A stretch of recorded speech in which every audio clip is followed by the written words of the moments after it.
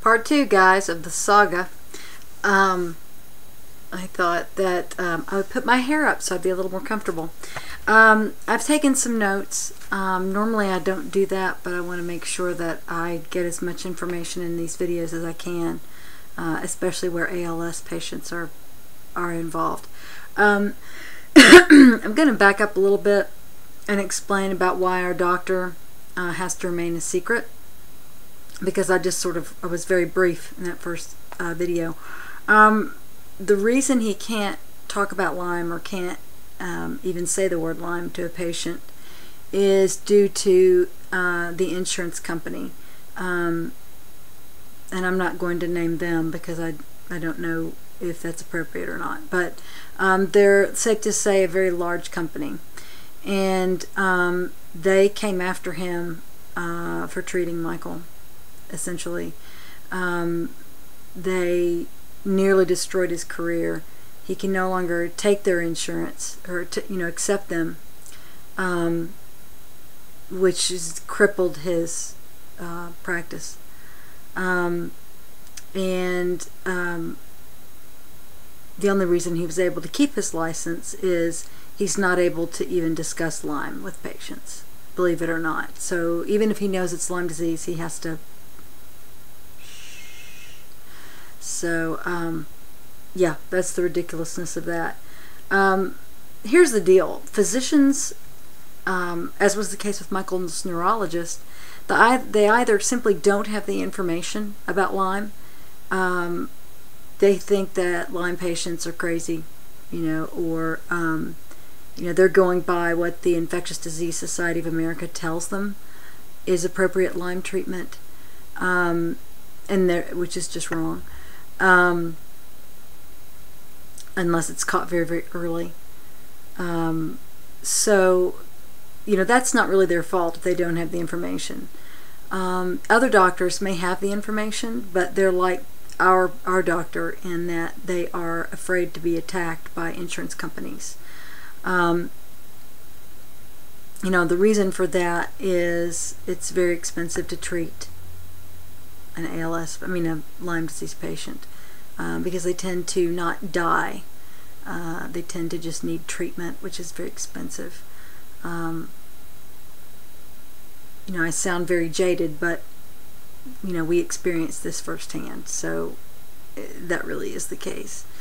Um, so anyway, I just wanted to, to go over that briefly. Um, what I always recommend to people is to see a movie uh, called Under Our Skin. And the reason is they, they explain this a lot better than I do. Um, you know, it involves um, uh, the ability to patent live uh, organisms and um, the profit that could be made over that. And um, it's just, um, it's a very deep rabbit hole. And I could try to explain it, but it would take me probably an hour and a half worth of video. So you might as well just watch the movie. Um, it's it's a very good movie. Um, it was actually nominated for an Academy Award, I believe. Um, so you can see it. It's on Netflix on demand, or you can do a search for Open Eye Pictures, and they have they have it. Those are the people that produced it. Um, you can also find the trailer and some clips online on YouTube. Uh, so I recommend you do that as well. It's called Under Our Skin. So, all that being said, um, back to our saga. So, Michael went to um, our first doctor who sent him to another doctor. Yeah, that's what I was talking about. Um, he went to go see Dr. Bach. I think it's Stephen Bach. Anyway, went to go see him in a little um, clinic outside of Bethlehem, Pennsylvania. Um, and he, Michael at the time was in uh, in the electric wheelchair still, and um, when he went in, Dr. Bach said, "You don't have ALS, you have Lyme disease," and um, which was just kind of a shock that he would say that right off he said that um, he could tell by Michael's coloring in his face that it was that it was Lyme because he had this redness, ruddiness to his face, and I had noticed that as well. Um, he also had a very slight case of Bell's palsy, you know, where it's kind of um, a paralysis uh, one side of the face and the, the lips or the mouth droops a little bit. Um, it can't droop a lot, but in Michael's case, it was just minuscule. But but in hindsight, you could see it. Um, and he also knew the points at which Michael was hurting, where where things would hurt. Incidentally, those are the same uh, trigger points as fibromyalgia. Wink, wink. Um, so there are some Lyme disease specialists who will tell you that fibromyalgia is not really a real disease. that It's actually Lyme. Just that little tidbit for you. Um, anyway, um, he started treating Michael presumptively. That means he just assumed that it was Lyme. Um, Lyme is largely a clinical diagnosis, meaning you, they look at symptoms that um, they have in common with other Lyme disease patients and kind of make the decision from there because the blood tests are so um, unreliable. Um, the ones that insurance pay pay for uh, pays for comes to I think a 40% false negative rate, meaning it will the test will come out negative, but it's actually not. You're actually positive for Lyme. Um, so they just throw all those tests out the window and go clinically. Um, the reason these blood tests are so unreliable, because those of you with ALS, I have no doubt you've probably gone through a Lyme disease test before and been told that it was negative, in which case you probably just said, oh, well, it's not Lyme. Um, the problem with these tests are they're looking for antibodies. You know, these tests don't look for the bacteria, they look for the antibodies to the bacteria. And um, if you've had Lyme for a long period of time that's gone untreated, the immune system becomes so overwhelmed with the bacteria, it stops producing the antibodies altogether. So what happens is you go find finally you get this test and your immune system has not created any antibodies of late. So the test comes out negative. It doesn't find any antibodies, even though you have bacteria all throughout your body. And this is what happened with Michael uh, and why his symptoms were so severe and why he ended up with the ALS diagnosis. So bear that in mind if you have a, a negative test already. Um, it may not be negative. You may actually have the, the disease. Um, with the antibiotic treatment that Dr. Bach started, Michael got a lot worse. Um, he started to have much more pain, and his flu-like symptoms just went just skyrocketed. Um, but uh, believe it or not, that's what they look for. Um, they look for you to feel worse because that's a sign that the bacteria is being killed and it's releasing its toxins into your body, which makes you feel like dookie. Um, and I, I know firsthand as well because I'm on the oral antibiotic regimen, and I feel like crud um, pretty much all the time. So, so anyway, that's the situation. Um, you just have to kind of suck it up and feel worse for a while. But um, after I think it was like six months, uh, the doctor kept treating him and then kept uh, testing him. Like every month, would test him again. And yes, we would drive from Knoxville, Tennessee, up to Pennsylvania every month, um, which was tough. But um, after I think six tests, all of a sudden, wham! Michael was was positive all across the board. So, thus proving that um, even though he'd been negative before, he was now positive. So the disease had been there. Um, you know, unless he got bitten by a tick in the house, uh, in the bed. Um, uh, once he got positive, that's right, we, he was sent to Dr. Richard Ree. Um, Dr. Ree was the chief of neurology at Robert Wood Johnson um, and happened to be the president of the ALS Association of Jersey. And when Michael walked in, and yes, he walked in, uh, Dr. Ree said, You don't have ALS, you have Lyme disease. I can tell by the way you walk. Just that simple. Um, but that's a point I want to make to you with those of you with ALS. Um, with ALS, when you lose a muscle, right, and you, you know this, when you lose functionality of a muscle, it doesn't come back. Like once you lose the ability to walk, you are never going to walk again, or you're never going to use that arm again once the muscle has become exhausted and is now paralyzed. Um, so you, you don't get it back, you don't get better. Michael, even though he felt like crap, got better.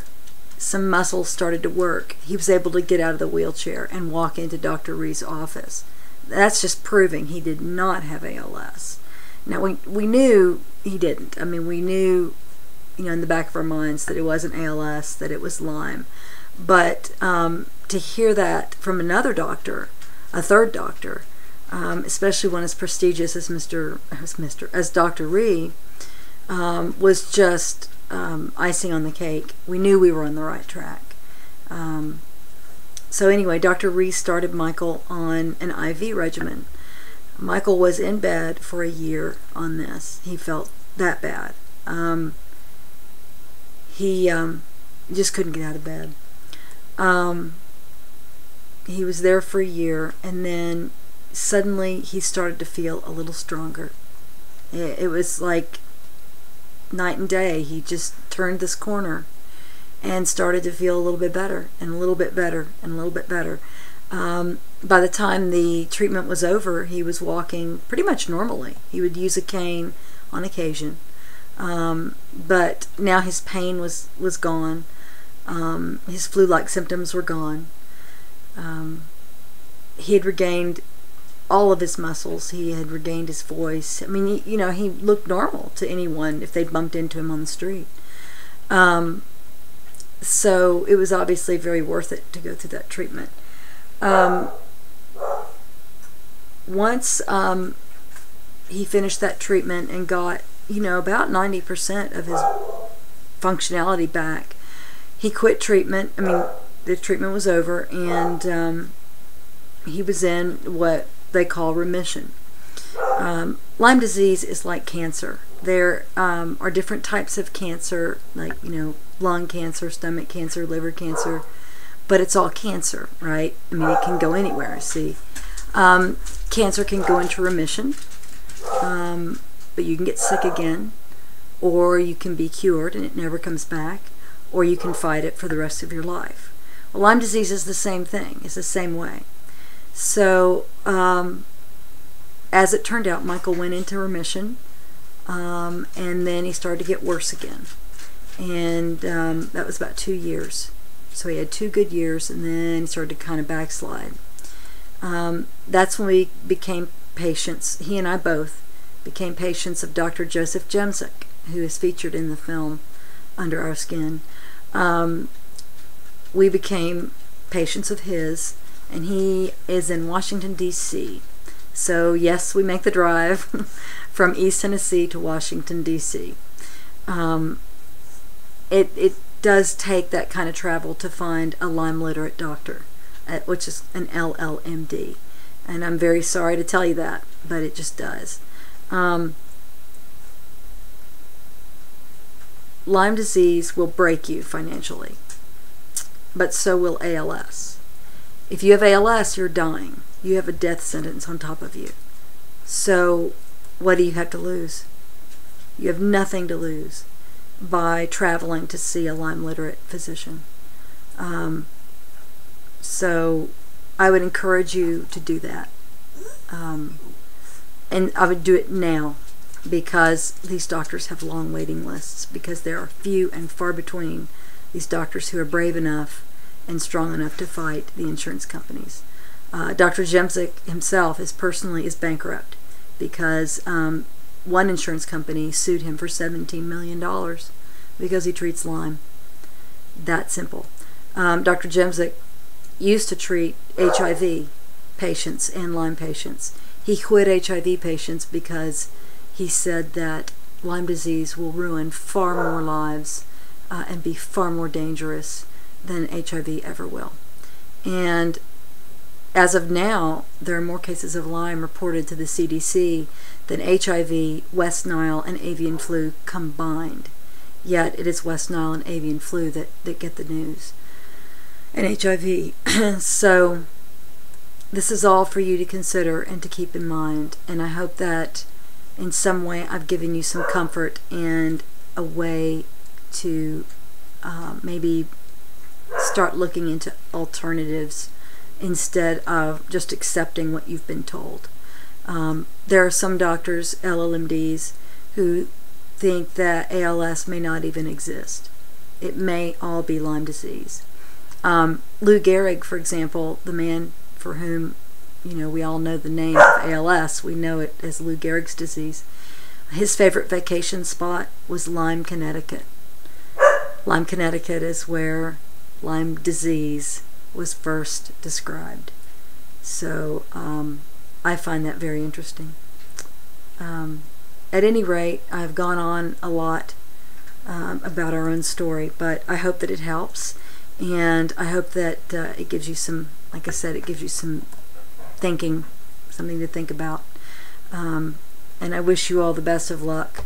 If you have any questions um, or comments, again, please email me at warriors.of.lyme at gmail.com and I will do my best to answer them.